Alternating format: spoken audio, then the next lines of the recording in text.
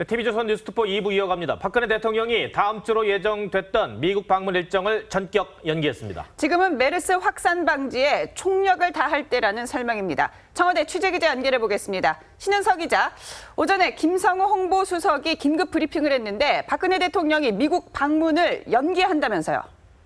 그렇습니다. 박근혜 대통령이 다음 주로 예정된 미국 방문 일정을 전격 연기했습니다.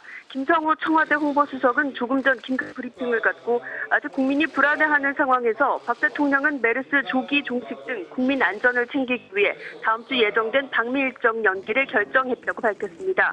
박 대통령은 그동안 국내 경제 활성화와 우리 경제 지평을 넓히기 위해 어려운 여건에서도 주요국 방문했지만 국민 안전이 최우선이기 때문에 방미 일정을 연기하고 국내에서 국민 불안을 해소할 것이라고 설명했습니다. 또 이번 주가 3차 감염과 메르스 확산의 분수령이 되기 때문에 각 부처, 민간 전문가를 중심으로 확산을 막기 위해 최선을 다하고 있고 박 대통령은 직접 매일 상황을 보고받고 점검하고 있다고 전했습니다. 청와대는 국민들도 함께 이 어려움을 극복해달라고 부탁했습니다. 자, 신은석 기자. 네. 지금 그 가장 궁금한 것이요. 그러면 연기는 했는데 언제 언제 방미를 하겠다. 이거까지도 어, 협의가 된 겁니까?